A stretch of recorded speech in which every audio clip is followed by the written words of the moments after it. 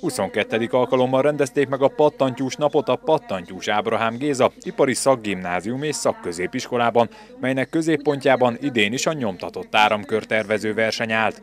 15 csapat mérettette meg magát az eseményen, cseh és szlovák testvériskolák is érkeztek, hogy megmutassák műszaki tudásukat. Az ilyen és ehhez hasonló versenyek pedig jól illeszkednek a diákok felkészítésébe, szerves része tanulási folyamatuknak. Ugye a versenyek és az egyéb szakmai programok azért szerves részei ennek, hiszen hát azért a naprakész szakmai tudás ebben a gyorsan változó technikai környezetben a legfrissebb ismereteknek a megszerzése nélkül azért nem lehet a munkaerőpiacon boldogulni, és azt gondolom, hogy a verseny valahol egy kicsit játék is, megmérettetés is még itt ebben a formában, és a gyerekeknek ez a sikerélmény, ez a próbatétel, az fontos lehet a szakmai fejlődésük szempontjából. Szintén a szakmai fejlődést hangsúlyozta Rózsavölgyi László, aki a városrész önkormányzati képviselője, hiszen a városnak fontos feladata a szakképzett munkaerőhiány csökkentése, amihez az iskola ezzel a versennyel is jó alapot szolgáltat. Azért nagyon fontos, hogy ezen a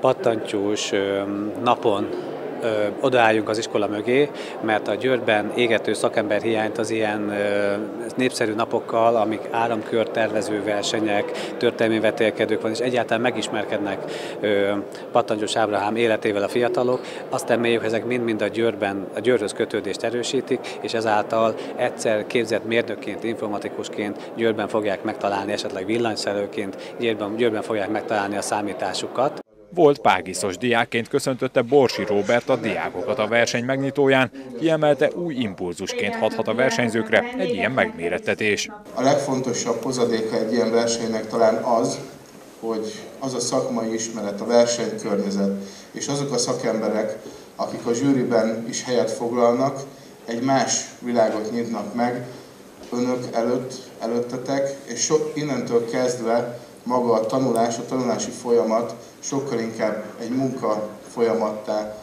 alakul, és egy kicsit munkaszemléletű folyamattá alakul. A pattantyús napon megemlékezést is tartottak, melyre maga a névadó fia is eljött.